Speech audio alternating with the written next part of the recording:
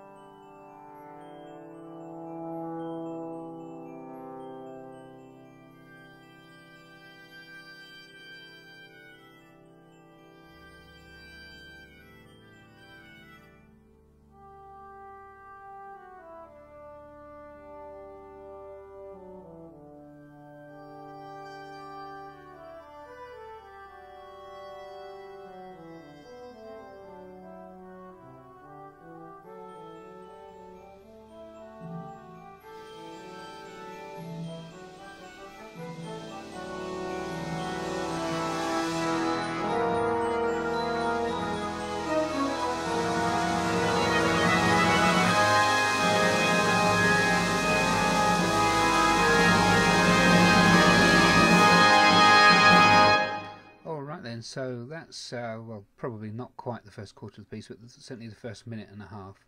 Hopefully you get what I mean by the sound waves uh, coming in. You get this motive la la la lum comes in a lot which is a sort of a play on that theme. La la lum uh, the mi so do uh, motive. So here at B you have the main motive uh, played on uh, solo cornet.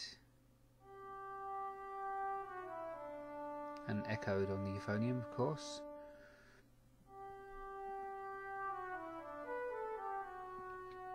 and that motive um, is developed as we go into the allegro session, uh, section. Sorry, we have these sound waves which layer up on top of each other. Three, well, four layers really. You've got percussion and, and basses with a driving rhythm, and you've got uh, euphoniums up to uh, second baritones. On the first layer, a second layer through the middle band, and then uh, the, the the upper cornets on the top layer, if you like and that all, builds and the, the, the drive just keeps on going. At, and at E we've got uh, the same motive again on, on the back row cornets and trombones.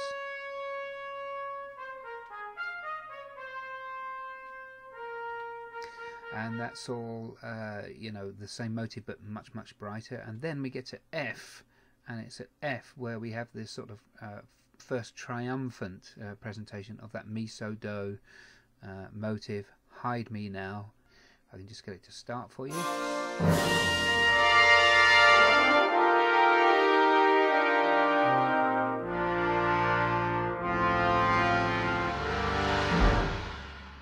So why don't we go from the start of this uh, Allegro section through to that Hide Me Now and uh, I'll let you see what you think.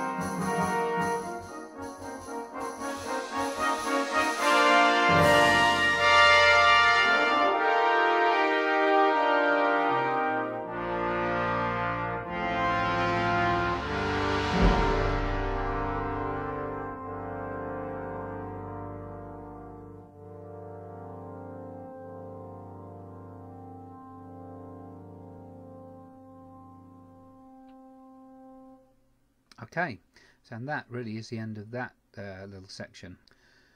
So after that rather exultant um, presentation of Hide Me Now, uh, which is then repeated in the lower brass on the trombones.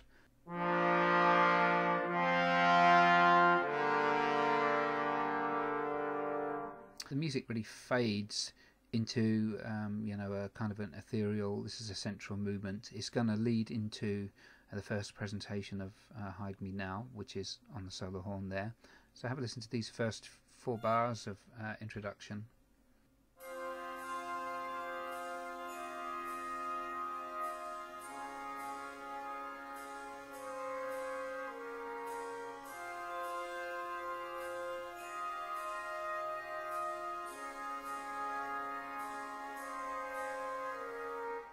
So, you know, the mi so do motive is there again, la la la, on the uh, solo cornet, and but you know, given a minor key uh, treatment, it's a little sorrowful uh, in in how it feels. Um, we have the melody uh, picked up then by uh, flugel and solo horn at the chorus, and muted cornets over the top. Um, the texture is provided by the trombones in the first eight bars, and then that's replaced by the mellow instruments, uh, tuba, euphonium, and baritones. And then, um, so it's just one presentation of the melody, and then here I, we come back to one of the main motifs from the beginning,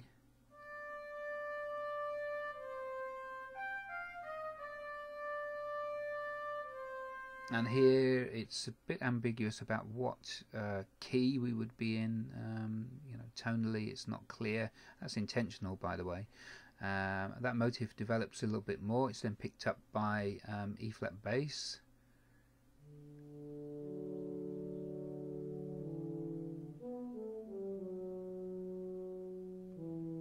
Then that leads us into um, a much warmer and uh, fuller setting of, of, the song, and, and, it's the second verse which begins, uh, Find rest, my soul.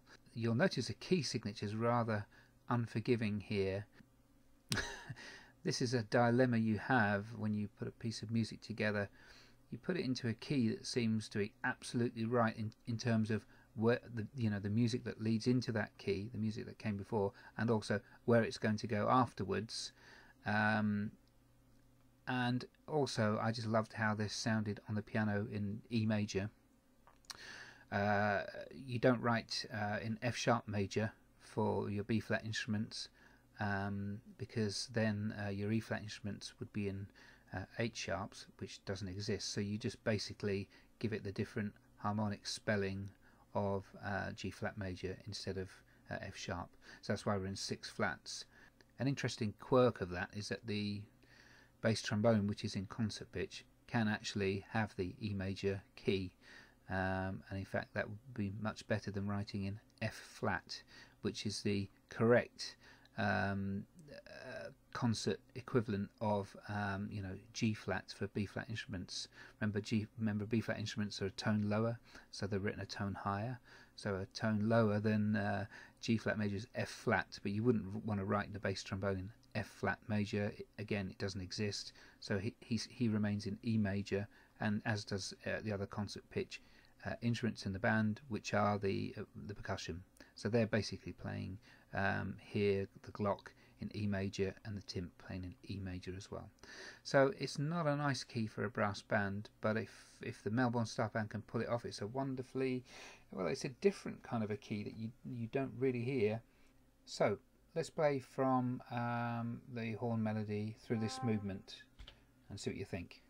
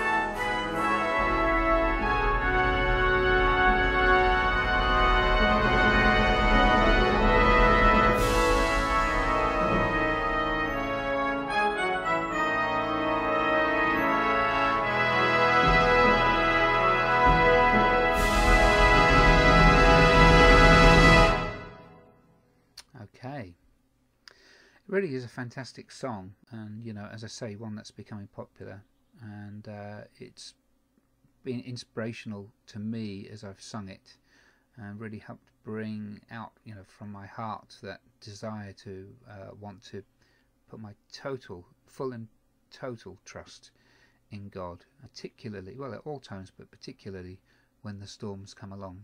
Okay, so uh, a nice triumphant ending there, and really, you, we we could have ended the piece uh, on these four bars here, I guess.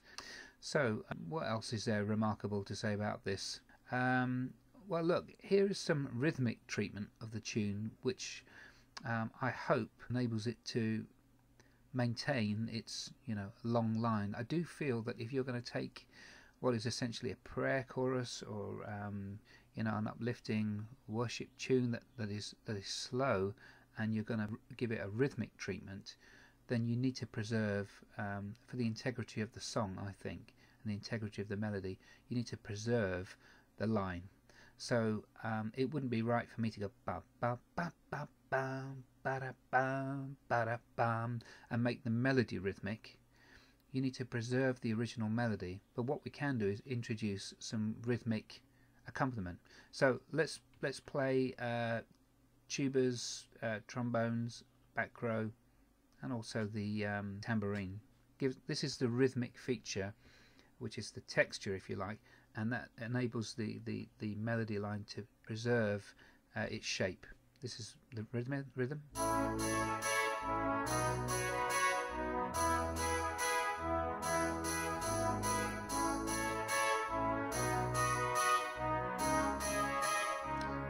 So you see what I mean? Uh, that's a rhythmic texture, but the melody line stays the same. Let's just add the euphoniums in and uh, the percussion as we layer this up.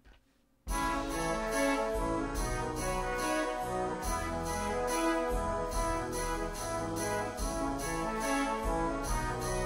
it's really important that all those uh, semiquavers or sixteenths uh, dovetail um, on back row cornets, trombones, and with the euphoniums.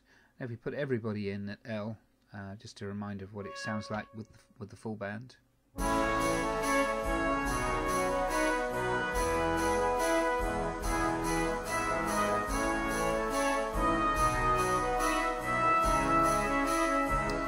So that's just something that I've learned over the years that I feel it's really important to preserve the integrity of the line. Alright then, okay. So after the big finish then uh, we go into the final movement and this is back into uh, an allegro. Uh, it's a segue really which will um, you know bring back some of the earlier material at the beginning of the piece. We come to this section R which when you hear it it's really really difficult to play but I had this music in my mind um, that was you know perhaps to symbolize you know the tempestuous circumstances that you know we're occasionally confronted with as human beings. You know, what does the storm look like? What does it sound like in music? So this is my take on you know the storm. Um, it's also uh, an opportunity for the Melbourne Staff Band players to really flex their uh, technical muscles as well. And um, if it can come together with a lot of bite and a lot of energy, um, it could be you know menacing as it should be, but also quite exciting uh, to listen to. Um, after that menacing section, um, if we can call it that, at T we have a, a, jubilant presentation again of the main theme from earlier on in the piece, um, with a lot of energy. At U we're back into the sound waves washing over us. You know that's that's representing uh, God's spirit uh, in the world and this time um, it leads into the, the main song again, uh, Hide Me Now. And um, it's quite a challenge to bring the melody out of this chord, which is the kind of chord you would hear if you sat on your piano keys. So where we ended up tonally is in concert A flat, and um, the melodies picked up these two bars, if I can get them selected so you can hear.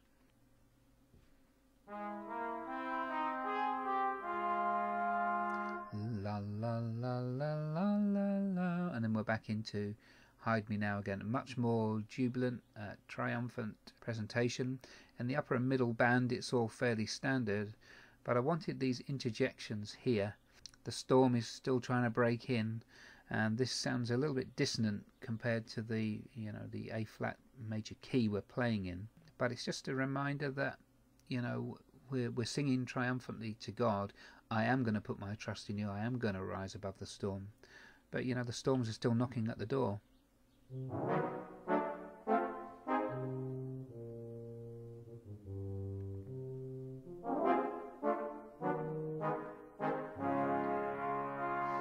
So um, I'm going to let you hear that in a minute, uh, but look at listen out for that. Look out for that when it comes along. Um, another triumphant uh, presentation of that main motive from the beginning.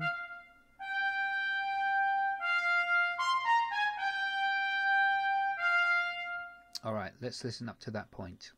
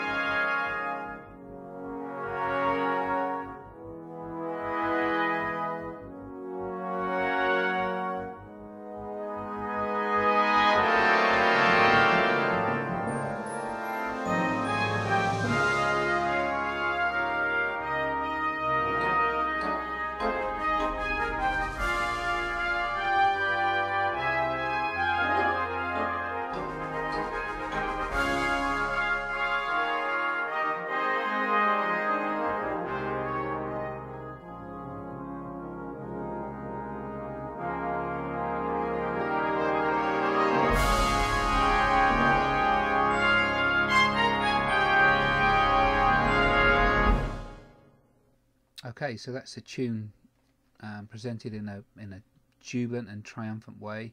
Um, you'll have heard the interjections here on uh, E flat bass and euphonium with the trombones. That'll have a lot of bite and a lot of intensity.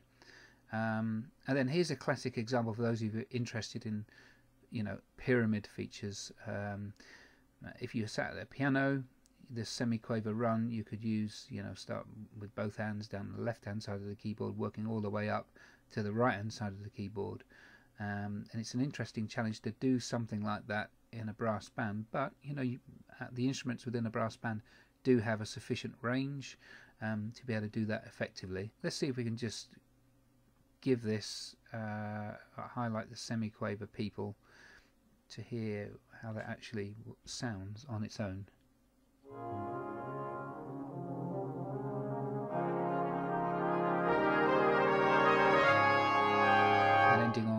Chord 4 here for the main motive. La da la da da da da. Uh, that kind of range, that's super intense. Uh, first trombones also have it at that range as well. And um, with the, with the rest of the band fading away, uh, you know, like organ chords uh, fading away and then coming back in again. That'll really uh, sound bright and true. Great stuff. So then we come to what is basically the finale, and in the finale, I think what you should do with a, a piece of this kind of scale, and this isn't a major, major, major work, but it has enough substance in it, I think, that uh, you know by the time you get to the end eight or nine minutes later you might not remember quite so much everything that has been uh, presented uh, throughout those minutes so I think it's nice to wrap up motives that have gone before in the finale we want it to end triumphantly that I'd already made up my mind about that so uh, that's where we're heading we're heading for a big ending and a triumphant ending because ultimately we're talking about putting our trust in God who never fails us. He is a God who can overcome all things. End of story. It doesn't end in a in a defeat.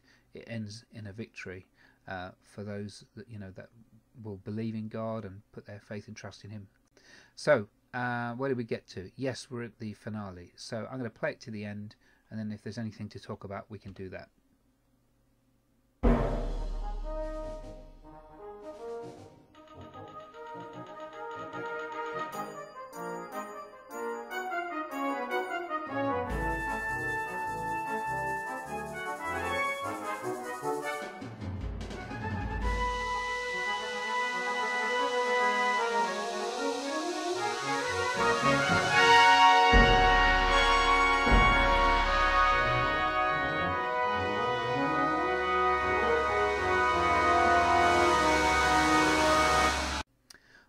Then, so we're hearing a lot of um, mi so do. And then on the soprano, that really needs to come through there. Um, so big, big, big climax. And then I just wanted a final contemplative motive um, before we, we get to the end. And, um, you know, we could have ended all guns blazing just there but I just wanted to, I just felt that was the right thing to do to have a final contemplative motive. So section Z opens with this G major, uh, G flat major chord, and um, it, it, layers up, layers up. Lydian mode stuff going on. Here's the augmented fourth again, uh, second horn, second trombone, first euphonium. Um, Lydian mode all the way to the end, and then a final G flat major chord. Here's what it sounds like.